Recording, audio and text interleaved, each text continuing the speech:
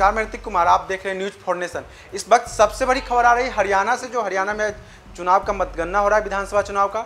उस मतगणना में जुलाना सीट से जो प्रत्याशी है कांग्रेस की विनेश फोगोट वो चुनाव जीत चुकी है। ये वही जुलाना सीट है, जहाँ 2005 के बाद कांग्रेस का कोई प्रत्याशी नहीं जीता। 2009 में भी कांग्रेस प्रत्याशी को हार मिली थी। 2014 का जब विधानसभा चुनाव हुआ था, वहाँ पे भी, उस चुनाव में भी कांग्रेस के प्रत्याशी को मात्र तेईस वोट मिले। 2019 का जो विधानसभा चुनाव हुआ उसमें भी कांग्रेस के प्रत्याशी को मात्र बारह हज़ार वोट मिले।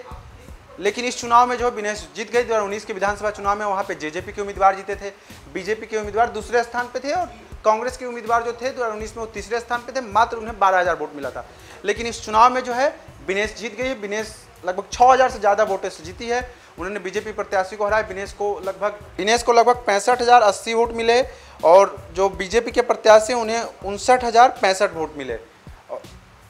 और जो यहाँ पे तीसरे स्थान पर रहे, वो इंडियन नेशनल लोक दल के उम्मीदवार रहे। सुरेंद्र राठौर, उनको दस हज़ार से ज़्यादा वोट मिले हैं। और जो विनेश है, जो इस साल पेरिस ओलंपिक जब समाप्त हुआ तो उसमें जो फाइनल मुकाबले में वो अयोग्य घोषित हो गई थी, मात्र 100 ग्राम वज़न रहने के कारण।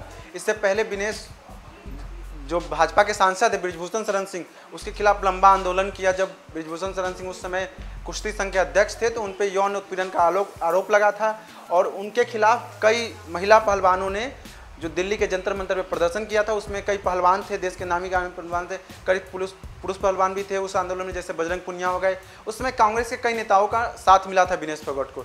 इसके बाद जब वो अयोग्य घोषित होकर भारत आई, इस पेरिस ओलंपिक के बाद उसके बाद उन्होंने अपने रेलवे की नौकरी से इस्तीफा दिया और कांग्रेस ज्वाइन की और पूरे प्रचार में जो है कांग्रेस का जो पूरा शीर्ष नेतृत्व है वो विनेश का साथ था और सब लोग को लग रहा था कि विनेश नहीं जीत पाई क्योंकि कांग्रेस जो है उस सीट पे 2005 के बाद नहीं जीत पाई थी।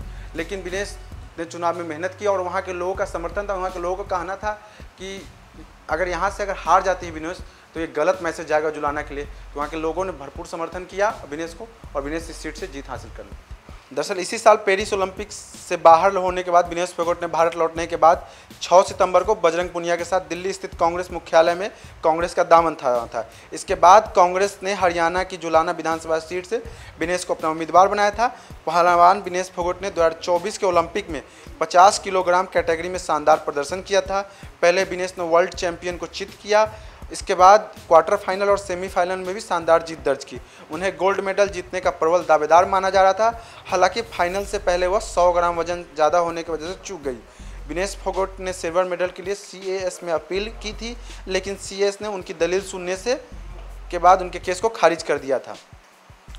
जुलाना विधानसभा में कुल पंद्रह चरणों में वोटों की गिनती होनी थी। इलेक्शन कमीशन के मुताबिक छह चरणों तक विनेश फोगोट पीछे चल रही थी, जबकि सातवें चरण से बीजेपी के प्रत्याशी योगेश बैरागी को पीछे कर विनेश फोगोट ने पहले नंबर पर अपनी जगह बनाई और आखिर में जीत हासिल की। वहीं तीसरे स्थान पर इंडियन नेशनल लोक दल के सुरेंद्र लाठर रहे। विनेश फोगट को कुल पैंसठ हज़ार अस्सी वोट मिले। वहीं योगेश बैरागी को उनसठ हज़ार पैंसठ मत प्राप्त हुए। इसके अलावा सुरेंद्र लाथड़ जो इंडियन नेशनल लोक दल के उम्मीदवार हैं, उन्हें दस हज़ार एक सौ अंठावन वोट मिले। इस तरह से विनेश ने छः हज़ार पंद्रह वोटों से जीत हासिल की।